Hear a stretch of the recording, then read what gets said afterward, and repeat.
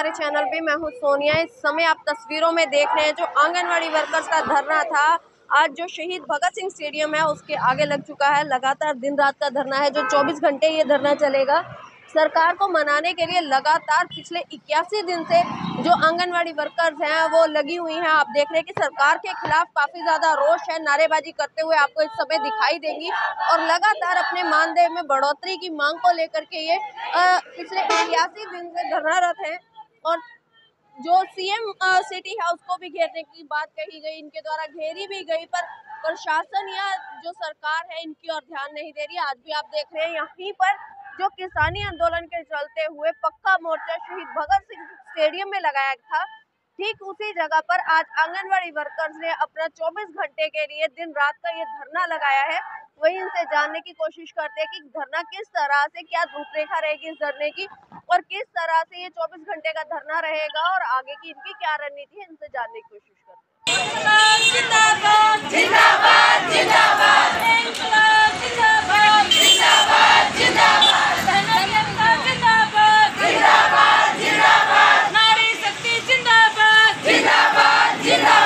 आज हमारा जी 24 घंटे का पड़ाव है दिन रात का।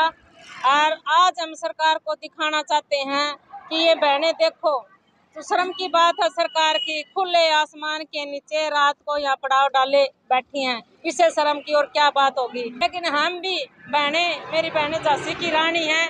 वह तो बिल्कुल अपना हक लेके रहेंगे हम कोई, उनसे कोई भीख नहीं मांग रहे, हम अपना अधिकार मांग रहे हैं और अपना अधिकार लेके ही रहेंगे हम।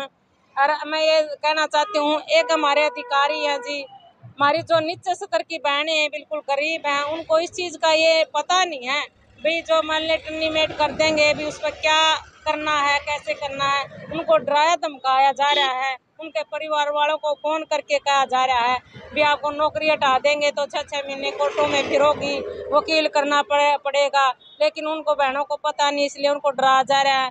हम न्यूज़ के माध्यम से ये कहना चाहते हैं अपने अधिकारी को भाई अगर आपने टर्निमेट करना, आप करो।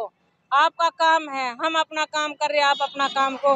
लेकिन जो नीचे स्तर की बहनें हैं उनको डराने धमकाने का काम बंद कर दिया जाए। और, और जो हमारी बहनें हैं सक्रिय साथी हैं जैसे हमारी जो लीड कर रही हैं अब उनको करो आप।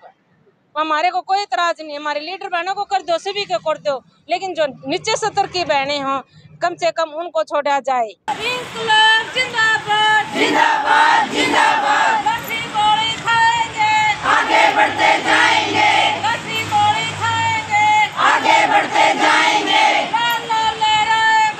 आगे बढ़ता जाएगा। इस सरकार का रवैया हमने 8 दिसंबर से देख लिया है। वैसे तो 8 दिसंबर से नहीं सितंबर 2018 में इन्होंने मन की बात में कही थी। तो हमारा जो स्टेट का डेलीगेट है उन्होंने बार बार उनको मांग पत्र दिया, अभी जो आपने हमारे को घोषणा की थी वो लागू कर दे। लेकिन ये सरकार आज तक नहीं मानी। हम हड़ताल से पहले भी इनको नोटिस दिया कि या तो आप हमारी जो घोषणा की हुई मांगे है, मान लो, नहीं, हम हड़ताल पे बैठे हैं।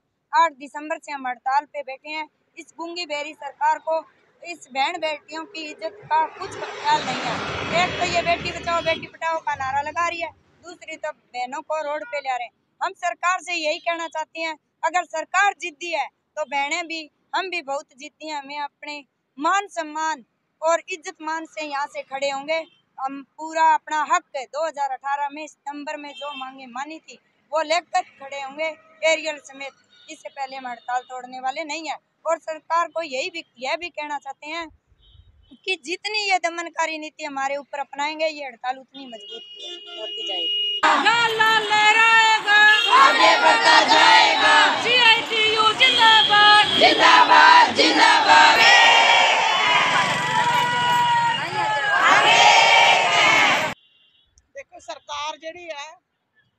ਇਹ ਉਹ ਕਹਿੰਦੇ ਨੇ ਪਾਗਲ ਹੋ ਗਈ ਸਰਕਾਰ। ਕਿਉਂਕਿ ਇੱਕ ਵਾਰੀ ਇਹਨਾਂ ਨੇ ਕਹਿਤਾ ਸੀ ਦੇ ਨਹੀਂ ਸਕਦੇ ਪੈਸਾ। ਜਦੋਂ ਵੀ ਸਾਡਾ ਡੈਲੀਗੇਟ ਸਾਥੀ ਜਾਂਦੇ ਤਾਲਮੇਲ ਕਮੇਟੀ ਜਾਂਦੀ ਹੈ ਗੱਲਬਾਤ ਕਰਨ ਵਾਸਤੇ, ਉਦੋਂ ਕਹਿੰਦੇ ਤੁਹਾਨੂੰ ਬਹੁਤ ਕੁਝ ਦੇ ਚੱਕੇ ਆ ਇਹਨਾਂ ਨੇ ਬਿਆਨ ਵਿੱਚ ਦਿੱਤਾ ਮੁੱਖ ਮੰਤਰੀ ਨੇ ਕਿ ਇੰਨੇ ਰਾਜਾਂ ਦੇ ਵਿੱਚ ਇੰਨੀ ਇੰਨੀ ਤਨਖਾਹ ਹੈ। ਤੇ ਮੁੱਖ ਮੰਤਰੀ ਕਹਿੰਦਾ ਹਰਿਆਣਾ ਪਹਿਲੇ ਨੰਬਰ ਤੇ ਹੈ। ਅਸੀਂ ਪੁੱਛਣਾ ਚਾਹੁੰਦੇ ਆ ਕਿ ਜਿਹੜੇ ਰਾਜਾਂ ਦੇ ਵਿੱਚ ਆਂਗਨਵਾੜੀ ਵਰਕਰ ਹੈਲਪਰ ਸਰਕਾਰੀ ਕਰਮਚਾਰੀ ਵੀ ਹੈ ਜਿਹੜੇ ਆਂਗਣਵਾੜੀ ਵਰਕਰ ਹੈਲਪਰ ਰਿਟਾਇਰਮੈਂਟ ਨੂੰ 3 ਲੱਖ ਰੁਪਏ ਮਿਲਦਾ ਹੈ, ਜਿਹੜੀਆਂ ਰਾਜਾਂ ਵਿੱਚ ਆਂਗਨਵਾੜੀ ਵਰਕਰ ਹੈਲਪਰ ਨੂੰ ਜਿਹੜਾ ਹੈਗਾ ਪੈਨਸ਼ਨ ਲਾਗੂ ਵੀ ਹੋਗੀ ਤੇ ਚਾਰ ਰਾਜਾਂ ਦਾ ਨਾਮ ਖੱਟਰ ਸਾਹਿਬ ਕਿਉਂ ਨਹੀਂ ਲੈਂਦਾ? ਕਿਉਂਕਿ ਉੱਥੇ ਚਾਰ ਰਾਜਾਂ ਵਿੱਚ ਬਹੁਤ ਜ਼ਿਆਦਾ ਤਨਖਾਹ, ਸਾਡਾ ਹਰਿਆਣਾ ਪੰਜਵੇਂ ਨੰਬਰ ਤੇ ਹੈ।